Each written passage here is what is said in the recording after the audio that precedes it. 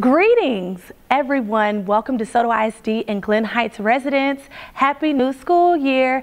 It is Amanda Lorraine Sargent, and I'm your school board trustee, place seven. I am so excited to launch the official start of our Board Fellows program.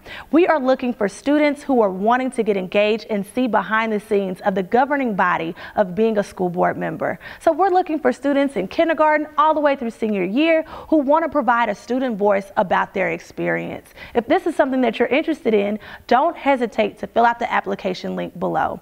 And by our October board meeting, we want to introduce and announce you. Thank you so much for taking the time out to be a student, parents, family, community, and let's champion our students to continue to advocate for themselves through the Board Fellows program.